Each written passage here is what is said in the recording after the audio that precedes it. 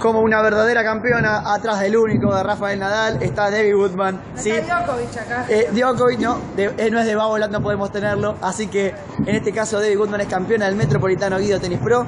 La segunda edición de la categoría C se gana en la final ante Agustina Dagnino.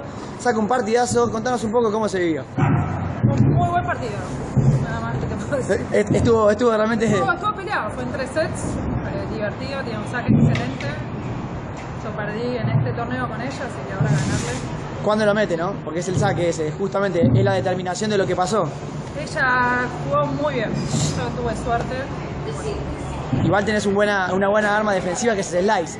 El Slice slice en el segundo y tercer set. lastima. Lo estuvimos viendo de atrás, o sea, el partido y te, te quie- te quiebra la cabeza. Perdón, perdón, pido perdón, no, no, por los drops.